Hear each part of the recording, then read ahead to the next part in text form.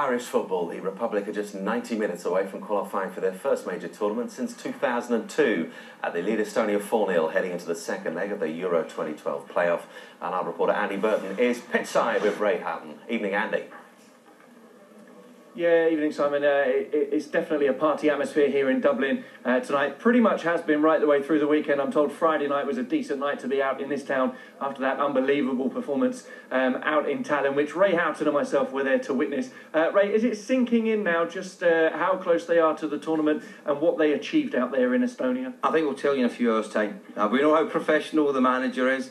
He'll expect the players to go to the, the best of their ability. We know we're 4 0 up uh, and it's very unlikely the Estonia will get back into the game. But you want to be get over that line. You know, you want you want to be there. You want to be part of that 16 that's going to be in the Euros next year. And it's a lot of hard work that's gone before them. You know, two years in the making. This is. It's not just about tonight or Friday when we got that fantastic result.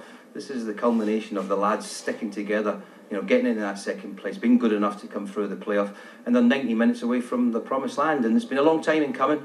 We've had to wait uh, 11, uh, 10 years now to, you know, to get to a major tournament. Long time for the Irish fans, and tonight we will be a celebration. But, Andy, we have to be just slightly concerned that the game doesn't become secondary. You know, we have to uh, you know know about the importance of the match tonight, the fact that we don't allow Estonia into the game, we don't give them any encouragement whatsoever, and if we can do that, then we can enjoy uh, maybe the second half of the game if we can get a goal or two up before then. Is this a little bit sweeter for these Irish players because they get to finish this off here at home in Dublin? I remember when they won the Iran playoff, they were away in the second leg, weren't they? Well, these are moments that you save in your career. These are, you know, when you're finished, you you reflect, you look back, and and these are the nights you'll remember most of all.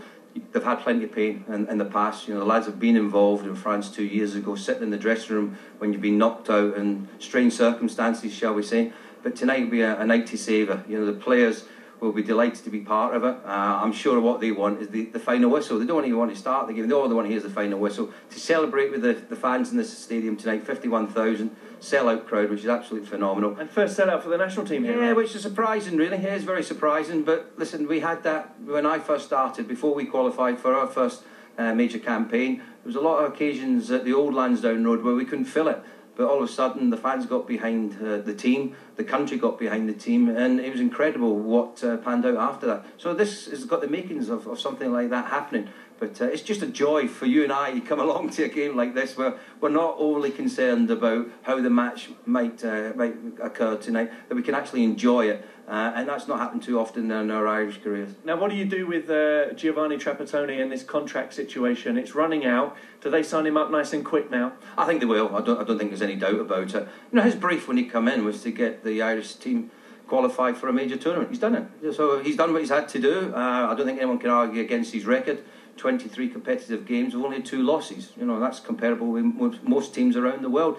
Last 10 games we've only conceded one goal. So, you know, there's a lot of things that he can show the FAI why he should be the manager for the foreseeable future.